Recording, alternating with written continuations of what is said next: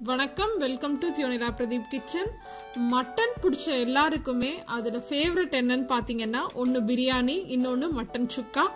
இன்னைக்கு நம்ம இந்த மட்டன் சுக்கா எப்படி பண்ணுறதுன்னு தான் பார்க்க போகிறோம் ஏற்கனவே நான் வந்து திண்டுக்கல் தலப்பாக்கட்டி பிரியாணி மட்டன் பிரியாணி எப்படி பண்ணுறதுன்னு வீடியோ போட்டிருக்கேன். அதோட லிங்க் வந்து கீழே டிஸ்கிரிப்ஷனில் கொடுக்குறேன். பார்த்துக்கோங்க.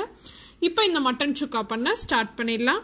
இந்த மட்டன் சுக்கா பண்ணுறதுக்கு நான் ப்ரெஷர் குக்கரை பயன்படுத்த போகிறேன் அதுக்கு வந்து ஒரு ப்ரெஷர் குக்கரில் ஒரு டேபிள் ஸ்பூன் அளவு எண்ணெய் சேர்த்துக்கோங்க.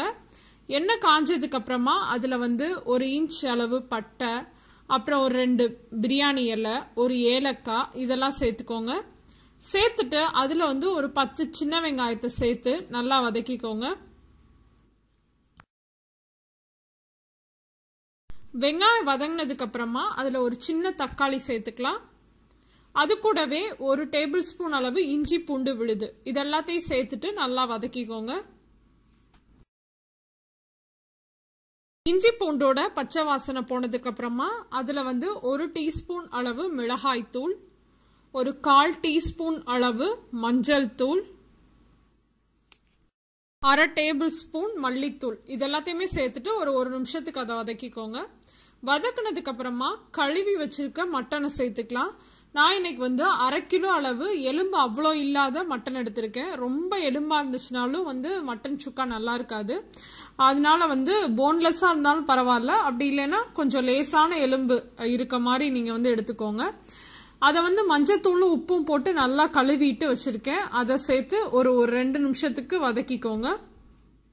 வதக்கினதுக்கு அப்புறமா மட்டன் வேகிறதுக்கு மட்டன் மூழ்கிற அளவுக்கு தண்ணி சேர்த்துட்டு நம்ம வந்து மட்டனை வேக வச்சுக்கலாம். நான் எப்பயுமே இந்த மாதிரி வந்து நல்லா தண்ணியெல்லாம் கொதிச்சதுக்கு அப்புறமா குக்கரை மூடி வச்சுட்டு ஆவி வந்ததுக்கு அப்புறமா விசில் போட்டுட்டு ஒரு இருபது நிமிஷம் வேக வைப்பேன். இங்கே எங்களுக்கு கிடைக்கிற மட்டன்லாம் வந்து அவ்வளோ சீக்கிரம் வேகாது. அதனால நான் வந்து இப்படி வேக வைப்பேன். நீங்கள் வந்து மட்டனை எப்படி நார்மலாக வேக வைப்பீங்களோ எவ்வளோ டைமிங்கில் வேக வைப்பீங்க இல்லைன்னா ஒரு அஞ்சாறு விசில் விடுவீங்க அப்படின்னா அதே மாதிரியே வேக வச்சு எடுத்துக்கோங்க. இப்போ பார்த்தீங்கன்னா மட்டன் நல்லா வெந்துருச்சு.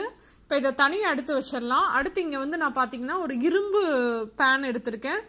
இதை இதுக்கு பதிலாக நீங்கள் தோசைக்கல்ல கூட செய்யலாம். ரொம்ப சூப்பராக வரும். அப்படி இல்லைன்னா ஏதாச்சும் ஒரு பாத்திரம். ஆனால் இரும்பு எடுத்துக்கிட்டிங்கன்னா இன்னும் நல்லா டேஸ்ட்டாக வரும். அதில் ஒரு டேபிள் ஸ்பூன் எண்ணெய் சேர்த்துட்டு தேங்காய் எண்ணெய் இருந்தால் ரொம்ப நல்லாயிருக்கும் இல்லைன்னா நல்லெண்ணெய் கூட சேர்த்துக்கலாம். சேர்த்துட்டு அதில் ஒரு அரை டீஸ்பூன் அளவு சோம்பு போட்டு தாளிச்சுக்கோங்க. அப்புறம் அது கூட ரெண்டு வரமிளகா ரெண்டு பச்சை மிளகா அப்புறம் ஒரு கொத்து கருவேப்பிலை இதெல்லாத்தையுமே சேர்த்துக்கலாம். அப்புறம் இதில் வந்து ஒரு பாதி பெரிய வெங்காயம். இது வந்து நல்லா பெரிய சைஸ் வெங்காயன்றனால நான் பாதி எடுத்திருக்கேன். சின்ன வெங்காயமாக இருந்துச்சுன்னா நீங்கள் ஒரு முழு வெங்காயத்தை நீள நீளமாக நறுக்கி சேர்த்துக்கோங்க. சேர்த்துட்டு தேவையான அளவு உப்பு. ஏற்கனவே வந்து நான் குழம்புலேயே வந்து உப்பு போட்டிருக்கேன். அதனால் வந்து இதில் கொஞ்சம் கம்மியாக இருந்தாவே போதும்.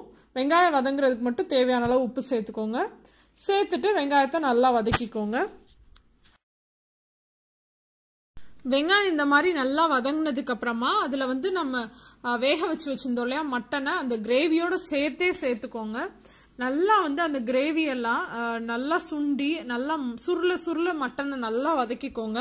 அப்போதான் வந்து டேஸ்ட் நல்லா இருக்கும். அந்த கிரேவியை விட்டுட்டு நீங்கள் வெறும் மட்டன் பீஸா சேர்த்தீங்கன்னா அவ்வளோ டேஸ்ட் நல்லா இருக்காது.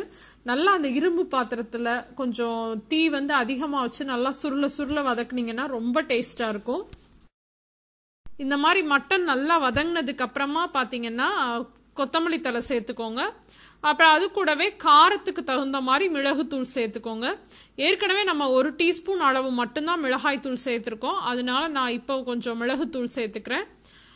அடுத்து இறக்குறதுக்கு முன்னாடி அதில் வந்து நம்ம பொட்டுக்கடலையோட மாவு சேர்க்க போகிறோம் இந்த பொட்டுக்கடலை மாவை வச்சு நான் வந்து ஏற்கனவே பொட்டுக்கடலை குருமா பண்ணியிருக்கேன். அந்த குருமாவோட ரெசிபியோட லிங்க் வந்து கீழே டிஸ்கிரிப்ஷனில் கொடுக்குறேன். பார்த்துக்கோங்க.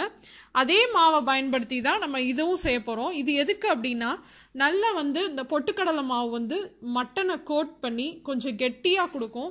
அப்போ வந்து மட்டனில் வந்து மசாலாலாம் நல்லா இறங்கி இருக்கும். ரொம்ப சூப்பராக இருக்கும்.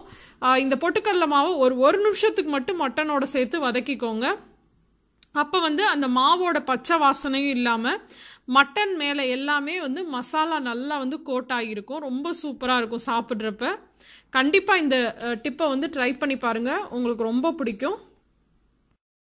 இந்த ரெசிபியை வந்து சாம்பார் சாதம் அப்படி இல்லைன்னா ஒரு ரசம் இந்த மாதிரி சிம்பிளாக இது கூடயாச்சும் சர்வ் பண்ணுங்க. ரொம்ப சூப்பராக இருக்கும். கண்டிப்பாக இந்த ரெசிபியை ட்ரை பண்ணி பார்த்துட்டு எப்படி இருந்துச்சு அப்படின்ற உங்கள் கமெண்ட்ஸ் அண்ட் ஃபீட்பேக்ஸை மறக்காமல் என் கூட ஷேர் பண்ணிக்கோங்க. இந்த ரெசிபி உங்களுக்கு பிடிச்சிருந்துச்சுன்னா லைக் பண்ணுங்கள் உங்கள் ஃப்ரெண்ட்ஸ் கூட ஷேர் பண்ணுங்கள் இன்னொரு இன்ட்ரெஸ்டிங்கான ரெசிபியோட உங்கள் எல்லாரையும் சந்திக்கிறேன். அதுவரை உங்களிடமிருந்து விடைபெறுவது உங்கள் தியோனிலா பிரதீப். தேங்க்யூ